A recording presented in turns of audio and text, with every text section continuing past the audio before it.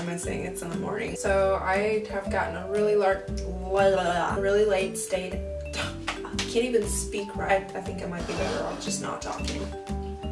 No, but in all honesty, I have gotten a late start in the day today. I stayed up really late. I went to bed after midnight, and I was talking to my boyfriend this morning, and then I went back to bed like after 8 and got up around 11. And I'm just now eating for the first time today. I know there's like this long gap between 11 and 2.30. I basically spent the day cleaning and doing my laundry. I washed my backpack. Let's see, how long have I had that backpack? I haven't washed it in over a year. I was, I was a lot of like train tickets, old receipts and whatnot. Just had to go through it and throw a lot of stuff away. I spent time just kind of cleaning up my room, going through stuff because I will be leaving this week. I will be flying back to the States this Friday.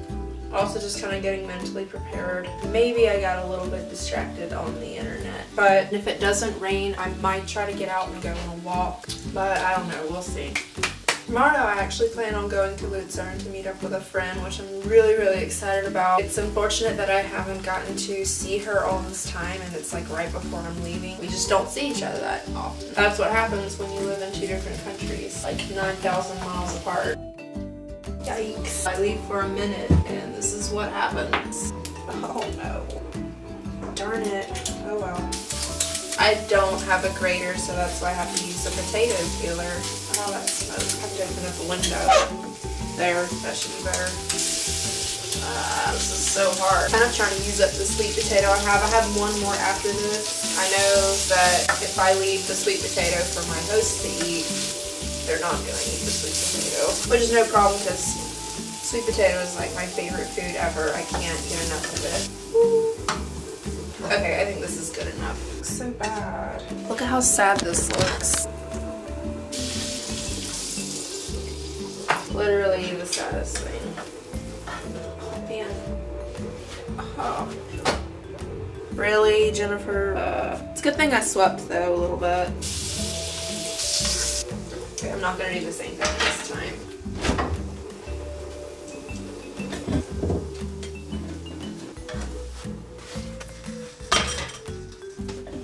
My plate looks like a burnt mess. Oh, it feels so good to have put something in my stomach and to have eaten. Guys, I have these annoying parakeets. Well, I hope the neighbor doesn't see me. I don't know, I feel like everybody kind of watches everybody and it'd be really weird if somebody caught me filming somebody else's balcony, but she like forgot to uncover her birds too. Poor things. So I actually have really nowhere to prop my camera because I don't have a tripod. I used to have one, but like I left it back at home. Being that I'm gonna be leaving soon, I really wanted to just kind of share a little bit of my experience that I had also with herding cows the other week with, what's that? I heard something. Yeah, so I got to experience herding cows in Switzerland, which was a really unique experience for me being like not Swiss. I just, that was probably one of the most funnest, best days I've ever had. Being that was freaking weird. I don't remember calling Siri's name. So anyways, my friend that I'm staying with, she just asked me if I wanted to help with the cows. And I was like, yeah, sure. And she was a little concerned that I would actually be afraid of cows, which I wasn't. But I mean, I told her in all honesty, I haven't really had a lot of experience with cows, but I've never been afraid of them. And she would tell me like, oh, they're gonna be running all around you at all sides in front of you. You can't be afraid. You can't be shy or timid basically, which I guess she kind of thinks I'm more of the shy, timid, quiet person. I mean, I can be more, I'm just more quiet natured, that is true, but that doesn't mean like I, it doesn't mean like I'm like a little mouse. I don't know, I just told her, I was like, I think I'll be fine. She's like, well maybe we'll just put you like very, at the end of the line, like very last in line. Thanks. But when we got to the Alp, it was like probably about 20 of us. There was actually a couple of ladies that wanted to be in the very back of the line because they had a dog and they just felt like it would be easier. And I have to say, like I said, that was just the most fun I ever had. Like I was laughing. It was totally no problem for me to be in the middle of the cows and just like, I don't know, I like cows. Like it was so fun though and I just couldn't help but feel, man, those birds are just so loud. But I just like, I don't know, I just couldn't help but feel like I was super fortunate to get this firsthand experience of like what Swiss people usually do. I'm gonna shut my window because things are just too loud. Probably should have done that to begin with. So we drove about 45 minutes to meet someplace. Once the others arrived, we drove like another half hour or so to the top of this Alp called Sardona. It was so beautiful up there. There were a lot of clouds and it was kind of misty, so I couldn't really see the Alps like as good as I could have on a clear day. I was like, oh, this is still gorgeous. It's still beautiful.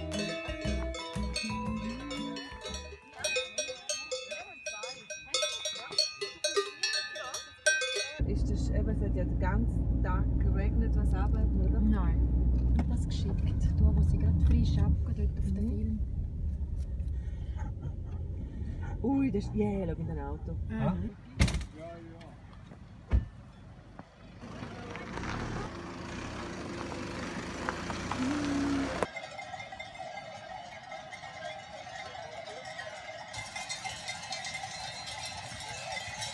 We're herding cows right now out here in the Alps.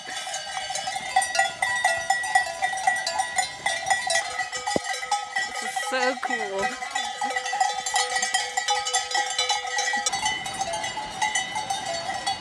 Look at this view, guys.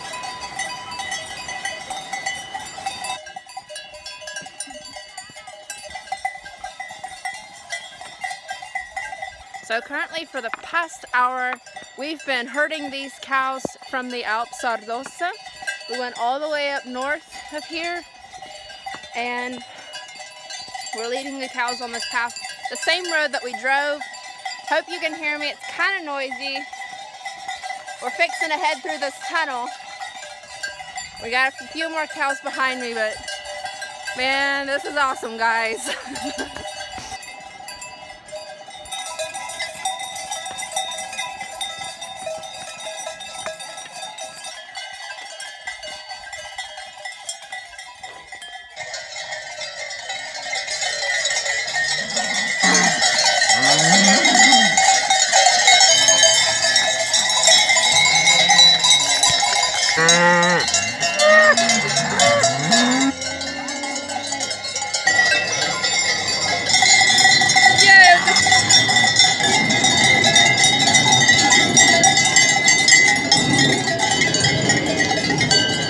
Now we're in the truck.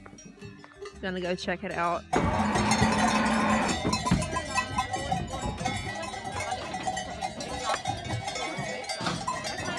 And look how beautiful this is, guys. We ate ice cream here and we talked for a while, had some coffee and drinks. Look how beautiful this is, though. Probably gonna be getting ready to go soon though because the temperature is dropping a little bit and it's starting to rain. But it's been such a fun day. Oh, I just, I love this so much.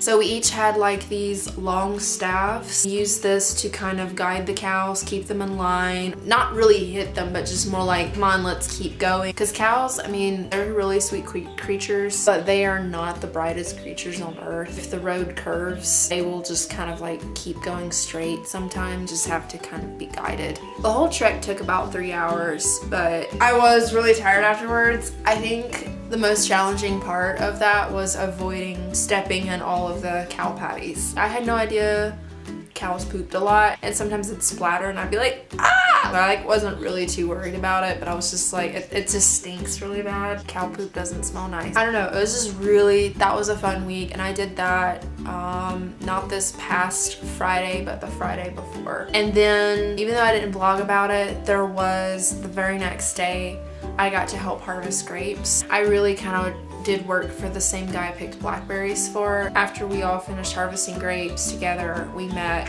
at this lady's house for dinner. And it was really nice because I met this really sweet German lady from Stuttgart and I totally conversed with her in German. She was really curious about my life and just asked me a lot of questions. And she told me, she's like, next time you come back to Switzerland and you're staying in Graubünden, she's like, please come and visit me. It was just, she was the sweetest lady. I just, ugh, again, where I'm just so happy that I get to have this experience because I would not meet such nice people. And the highlight of that day was after dinner, these people came and yodeled and just kind of sang some traditional Swiss song.